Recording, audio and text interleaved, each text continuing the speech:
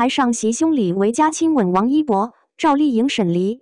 早上好，伙计们，今天我们继续有关王一博和赵丽颖的有趣信息。说起李湘，大家应该都不陌生，她曾是湖南卫视一姐，主持《快乐大本营》八年。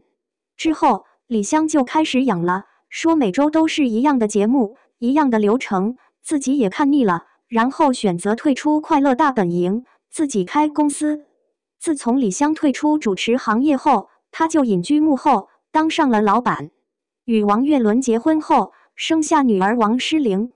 后来陪伴李湘的新闻就是炫富、炫豪车、炫耀钻戒、名表等等，李湘的口碑也变得很不好。网友吐槽他们家胖，他却回应网友称：“不要用穷人的思维来摇摆我们，瞬间拉低了大家对他的好感度。”二零一二年，芒果台主持人李维嘉三十六岁生日，李想和同事合影为李维嘉祝福。虽然说是祝寿，但李湘的举动也有些出格了。照片中，李维嘉半裸被李湘撞胸，旁边的一个绝色美女看到这一幕，不禁惊讶地张大了嘴巴。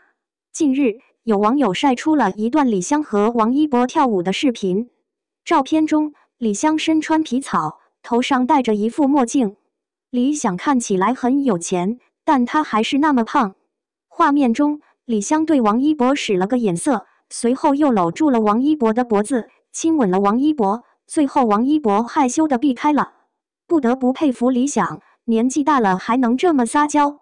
李湘今年四十五岁。王一博才二十四岁，两人相差二十一岁，他可以做王一博的妈妈？